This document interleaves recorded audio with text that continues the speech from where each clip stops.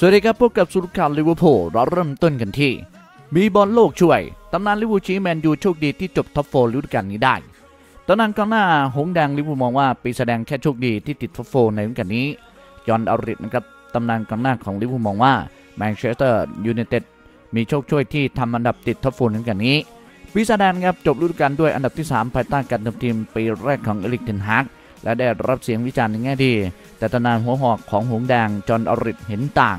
และบอกว่าการที่มีการพักเบรกฟุตบอลโลก มีส่วนช่วยให้ปีศาจแดงอย่างมากแมนยูไนเต็ดโชคดีนิดหน่อยในฤดูกาลนี้ พวกเขาทำได้ดีกว่าที่คิดในการจบอันดับท็อปโฟจอห์นอริสนะครับเขียนในคอลัมน์นี้ของเขากับ i d e p e n d e n c e หกอันดับของพรีเมียร์ลีกในช่วงไม่กี่ปีที่ผ่านมา มีการพลิกความเคลื่อนไหวอยู่บ้างจากทีมอย่างเลสเตอร์ซิตี้ที่มีฤดูกาลที่ยอดเยี่ยม แต่นี่คือฤดูกาลที่ฉีกทุกกฎและไม่มีอะไรสมเหตุสมผล อย่างแรกเลยก็คือการมีฟุตบอลโลกที่ไม่ควรเกิดขึ้นในช่วงกลางฤดูกาลนั่นทำให้เรารู้สึกเหมือนกับมี 2 เรื่องราวที่แตกต่างระหว่างก่อนกับหลังฟุตบอลโลก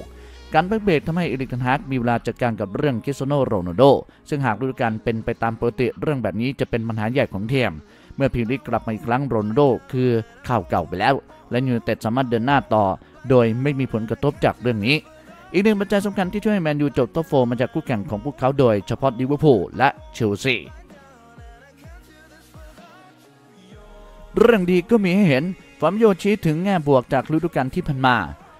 แม้จะมีภาพรวมเป็นฤดูกาลที่ล้มเหลวในแง่ของอันดับและถ้วยรางวัล แต่ฟาบินโญ่กองกลางชาวบราซิเลียนเองก็ยังมองเห็นบางสิ่งบางอย่างในแง่บวกที่เกิดขึ้นทั้งเรื่องของการปรับตัวของนักเตะใหม่ที่ดีขึ้น รวมถึงการแจ้งเกิดของนักเตะดาวรุ่งที่ก้าวขึ้นมามีบทบาทสำคัญต่อทีมในอนาคตลิเวอร์พูลจบฤดูกาลด้วยอันดับที่ 5 ได้สิทธิ์ไปเล่นในศึกยูโรปาลีกซึ่งถือว่าเป็นการพลาดการไปเล่นในศึกยูฟ่าแชมเปี้ยนลีกเป็นครั้งแรกในรอบ 6 ปีเลยทีเดียว อย่างไรก็ตามฟาบินโญ่ยังมองเห็นสิ่งดีๆ ที่เกิดขึ้นในฤดูกาลนี้กับลิเวอร์พูลโดยทั่วไปผมคิดว่าเราสามารถหยิบเอาสิ่งดีๆ จากฤดูกาลนี้ได้อย่างการที่ก้าวขึ้นมาของผู้เล่นบางคนที่ได้รับโอกาสและโชว์ฟอร์มได้ดีในช่วงนักเตะอายุน้อยอย่างสเตฟานบายเซติช เฟบเก่าโคดี้ กักโปเองก็เพิ่งย้ายเข้ามาในเดือนมกราคม แต่ตอนนี้เขาปรับตัวได้ดีเลยทีเดียว เขากำลังอยู่ในฟอร์มที่ดี ส่วนดาวินูเยสเองก็มีความสำคัญต่อทีมเช่นเดียวกัน ผมคิดว่าในฤดูกาลแรกของเขาที่ยิงประตูได้เยอะเลยทีเดียวนะ ทั้งที่เขาเพิ่งย้ายมาเล่นในประเทศที่มีการใช้ภาษาที่แตกต่าง คุณสามารถพูดได้ว่านี่เป็นฤดูกาลแห่งการปรับตัว และเขาก็เล่นได้ดี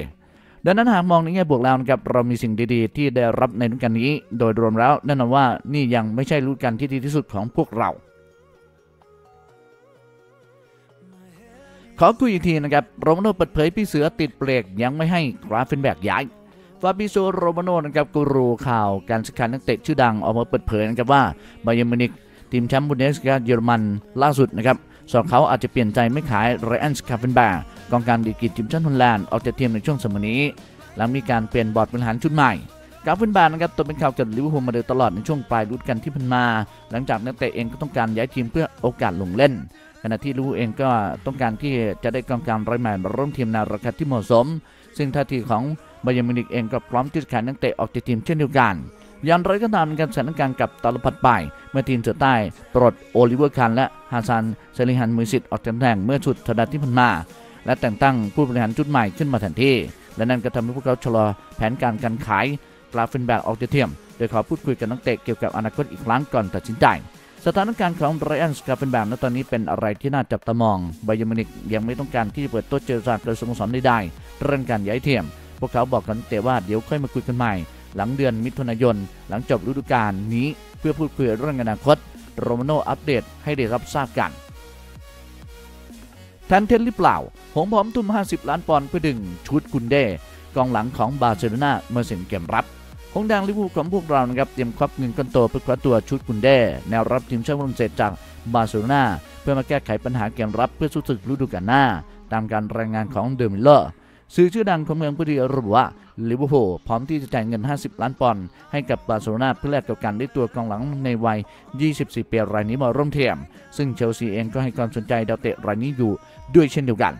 ลิเวอร์พูลนะครับต้องการแก้ปัญหาเกมรับที่มีในกาลนี้ได้อย่างย่ำแย่โดยการเสริมกองหลังรายใหม่ ซึ่งกุนเดเองก็เป็นหนึ่งในแข้งเป้าหมายที่เตะกิ้งกรอบติดตามฟอร์มการเล่นมานานแล้วและด้วยสถานการณ์ที่ตัวเขาเป็นตัวเลือกรองของทีมชาบี้ เอร์นานเดซที่บาร์เซโลนาในถิ่นคัมป์นูด้วย ยิ่งทำให้ลิเวอร์พูลพร้อมเดินหน้าคว้าตัวมากขึ้นในเดี๋ยวนี้ อย่างไรก็ตามนะครับกุนเดเพิ่งให้สัมภาษณ์ไปเมื่อสัปดาห์ก่อนว่า เขายังมองถึงการเล่นกับบาร์เซโลนาอยู่นะครับแต่นั่นคือก่อนที่จะมีข้อเสนอจากลิเวอร์พูลเข้ามา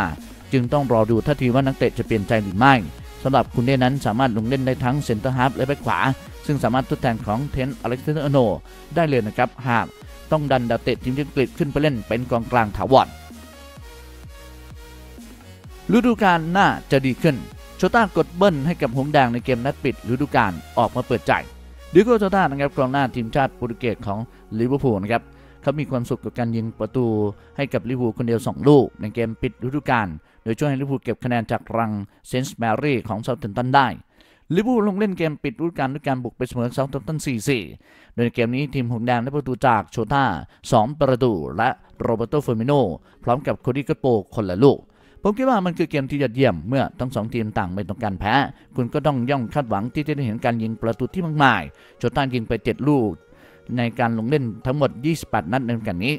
ปลายประตูในวันนี้เราได้เห็นได้ชัดเจนว่าพวกเราต้องการชนะ แต่พวกเขาเองก็ทำได้ดีมาก มันเป็นเกมที่ยอดเยี่ยม มีการการจบสกอร์กันเยอะ พวกเราน่าจะชนะได้ แต่นี่แหละคือฟุตบอล